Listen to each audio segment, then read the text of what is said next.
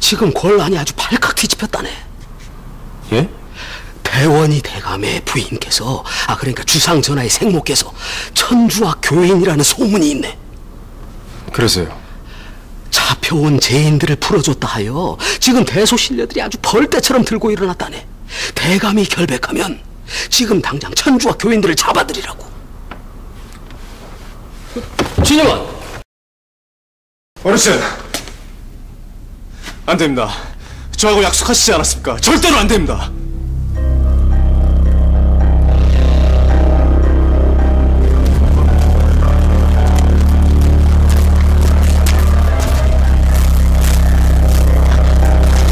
안 되겠습니다. 이대로 가다가는 기차를 걸게 분명.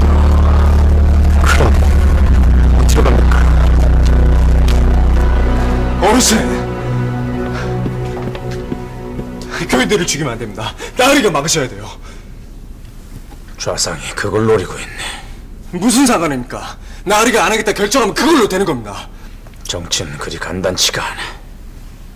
내가 천주학 편을 들어보게. 부인 때문이다. 양인들과 결탁을 했다. 사방에서 공격받을 것이 불을 보듯 뻔하네. 결국 실권을 잃게 될 것이야. 그래서 그 권력 때문에 사람들을 희생시키겠단 말입니까? 내가 쫓겨나면 좌상이 가만히 있을 것 같은가? 오히려 더욱 가혹하게 탄압할 것이야. 좌상은 그렇게 하라고 하세요!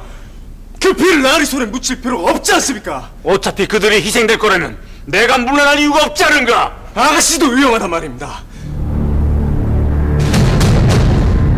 예. 아가씨도 교연입니다. 지금쯤 어디가에서 쫓기고 있을 거라고요. 부탁드립니다.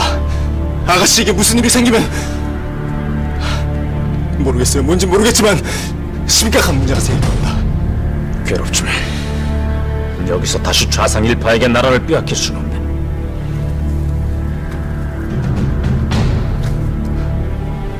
나 역시 조선을 위해 힘든 결단을 내리는 것이야. 거짓말하지 마십시오. 모든 정치가들이 그럽니다. 나라를 위해, 백성을 위해. 하지만 결국 자기가 아니면 안 되는 거죠. 아닙니까?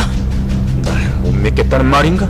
어르신이 놓치기 싫어하는 그 권력을 믿지 못하겠습니다.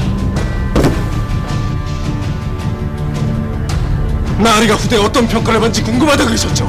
이 박해가 나으리의 첫 번째 실정이고 그리고 두 번째, 세 번째 결국 이 나라가 나으리가 어떻게 되는지 아십니까? 닥치게!